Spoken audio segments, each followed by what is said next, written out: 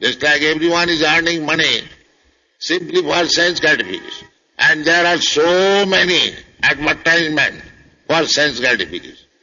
If you go to the city, you'll find all the shops, cinema, hotel, and wine shop, and this shop, and that shop. What are these? Big, big, nice sari displayed, demonstrated. Everything is for sense gratification. So this is not meant for. You require money. People are hankering after money.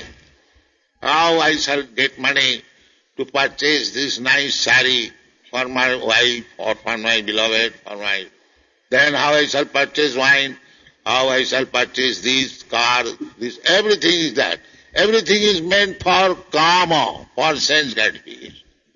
Naturally, one should be inclined to earn money, more money, more money, and more sense gratification. That means he is becoming implicated. That he does not know. నూనం ప్రమత్త కురుతే వికర్మ ప్రస్తుతం పరిస్థితుల్లో ప్రతి ఒక్కడు కూడాను కేవలం ఇంద్రియ తృప్తి కోసమే విపరీతంగా డబ్బు సంపాదించడాన్ని లక్ష్యంగా పెట్టుకున్నాడు ఆ ఇంద్రియ తృప్తి కోసం కూడాను ఎన్నో ఎన్నో ప్రకటనలు అనేటువంటివి బయట చూస్తూ ఉన్నాం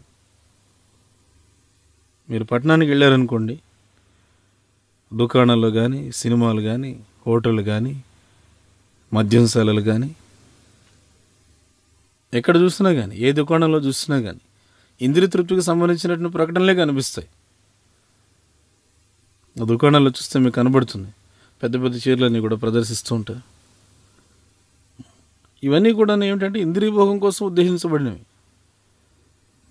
వీటిలో ఎక్కడ కూడా నిజమైనటువంటి ఆధ్యాత్మికత అనేటువంటిది కనిపించదు. మరి వీటన్నిటి కోసం మీకు డబ్బు కావాలి. అందుకని ప్రజలు డబ్బు కోసం విపరీతంగా ప్రాకులు అడుతూ ఉంటారు. ప్రతి ఒక్కడు అనుకుంటూ ఉంటాడు. ఈ చీర చాలా బాగుంది. మరి ఏ విధంగా నేను డబ్బు సంపాదించగలిగితే ఈ చీర కొని నా భార్యకి తీసుకొని వెళ్ళి ఇవ్వగలను? ఇలా మొదలవుతుంది. ఇలా మొదలై చివరికి ఎక్కడికి వెళ్తుంది? ఈ మధ్య నేను ఏ విధంగా కొనుక్కోగలను? లేకపోతే ఈ కారు నేను ఏ విధంగా పొందగలను? లేకపోతే అది ఇది.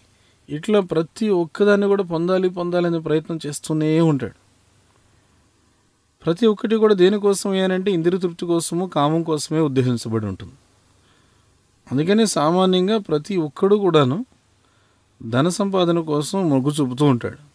మరింత మరింత ధనాన్ని పొందాలి దాని ద్వారా మరింత ఇంద్రియ తృప్తిని పొందాలి అనేది ఉద్దేశం. దీని అర్థం ఏమిటి అని అంటే అతను మరింత మరింత చిక్కుపడుతున్నాడు అని అర్థం. అయితే ఆ విషయం అతనికి అర్థం కావడం లేదు. అతనికి తెలియదు కూడా.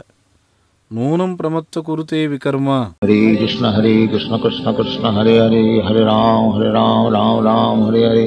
హరే కృష్ణ హరే కృష్ణ కృష్ణ కృష్ణ హరే హరే హరి రామ్ హరే రామ్ రామ్ రామ్ హరి హరే. హరే కృష్ణ హరే కృష్ణ కృష్ణ కృష్ణ హరే హరే హరి రామ్ హరే రామ్ రామ్ రామ్ హరి హరే.